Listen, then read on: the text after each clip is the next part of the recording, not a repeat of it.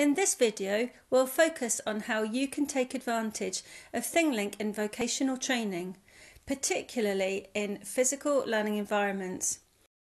ThingLink gives students access to places and situations that would otherwise be difficult or impossible to access. The tours introduce the contextual skills and knowledge required in different work environments or social situations. Tours can be created by both teachers and students. Learning objectives determine the scope and methods of implementation. In this simple example, the physical learning environment is made available to the student through a 360 degree image. Basic information about how to change tyres is embedded into the image.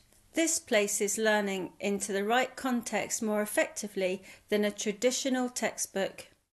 In this example, the learning material is placed in the right context in the form of embedded YouTube videos. Physical learning environments often include devices and equipment that students are unfamiliar with. Learning in these environments usually happens via face to face instruction, but sometimes locations are difficult to reach or physically distant, or can only be accessed for a limited time or in small groups. Instead, they can be explored with ThingLink before going on site. In this example, a virtual logistics learning environment has been recreated in ThingLink. The knowledge is incorporated well within the context, which makes it easier to become familiarised with the operating environment and to recap learning points, as well as to ensure occupational safety.